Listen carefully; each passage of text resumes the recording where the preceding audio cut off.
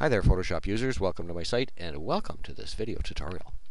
What I'm going to cover is how to get rid of a color cast like this, this blue color cast. It's kind of typical of a snow scene, especially late in the day. Uh, the snow kind of has that bluish cast to it. Uh, this is after a day after a snowstorm and uh, it's kind of filled in my chair here. Incidentally, I built this chair and uh, I bought the plans online, all excited, put it together. Most uncomfortable chair I ever sat in. So beware of the plans you buy to build chairs online. Anyways, that's beside the point. Now we want to get rid of this blue color cast and we're going to do it with the blur average filter. This is a dead simple way of eliminating a color cast. So the way we do it is this. First thing we do is we duplicate the background layer. Then we go to filter, blur, average, and we get this blue. This blue is what is this, this image is made up of. This is primary color. Now I want to invert this. I want to get the complementary color of this, and I'm going to get it by hitting the Control or the Command key and I, and that inverts it. Okay, so now we've got that, but that's not much good because it's just all brown. So what I want to do is change the blend mode to color. Okay, so now we got our image back. Now the hard part of it is you simply grab the opacity slider and you lower it. And through trial and error, I've discovered around 45, 40 to 50, I guess, uh, is, is where it starts to get like a normal color. So we'll, we'll take it at 43%. That's not too bad. Now you can see the histogram.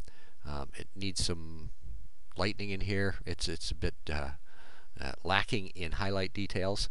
But let's look at the histogram before. Look at that. What a goofy histogram. Can't do much with that one. So I'm going to put this back on.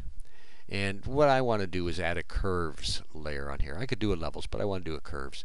I found if I do a levels on this one, I get clipping, and I don't want clipping. Clipping is when it's uh, you get pixels that are beyond black or beyond white, and you, you don't want that because there's no detail left in them.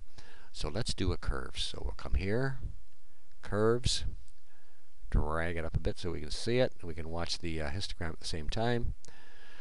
Okay, so I'm going to put a point here in the uh, shadow area, one here in the highlight area. Now I'm just going to control tab between them. See if I hit the control and the tab key, it goes from one to the other. I'm going to use my down arrow to drag down the, uh, the shadows, and you can see it happening over here in the histogram. Control tab to the other one, whoops, hit the control key. Control tab to the other one. Hit the up arrow key. Now you can see the histogram is spreading and the picture is, is spreading as well. It's getting lighter. So now we've got better contrast. So this is that typical good contrast S-curve. There's the image now. So let's take a look at it before. Hit the Alt key and this the background. That's our original. Hit the Alt key and the background and it turns on all the layers. Big difference. So that's a simple way of doing a color cast. Now you could even write a uh, an action to do this. Uh, so let's let's do that because we've got lots of time. So I'm going to get rid of this. I'm going to get rid of this.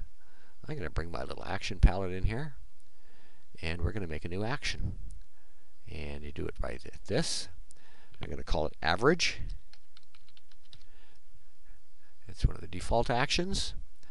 Okay, so we duplicate the background, filter, blur, average, controller command I, change the mode to color, and now you can go, you can stop it here and then do the, your work, or you could just double click here, put in 40%, and uh, that gives you a pretty good indication of what's going on.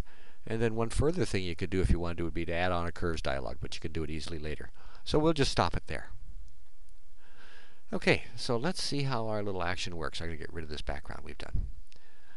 So here's our average filter, our average thingy here that I created. Hit the start key. Now I'm ready to go. I can now mess around with the opacity a little bit. Let's take it up. Uh, a bit higher this time, up to 50%. Now I'm going to add my curves on. Put my points in. And now I'm just dragging it down this time. And we're going to drag this one up. There's our curve. Okay.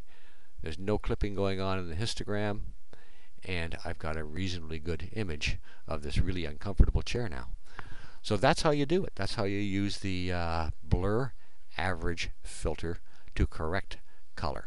So give it a try. You'll like it. It's really kind of fun, and, and it's real quick. It's faster than some of the other methods that uh, that are available. And I know it's a subjective method. It's a subjective dis, uh, uh, final result. Each person will have their own view of what's right, but it's going to be better than where you started. Okay, so thanks for watching. Thanks for visiting my site. And uh, if you came in through YouTube, come and pay me a visit. I'd like to see you on my site. Uh, take care. I appreciate your time. Bye now.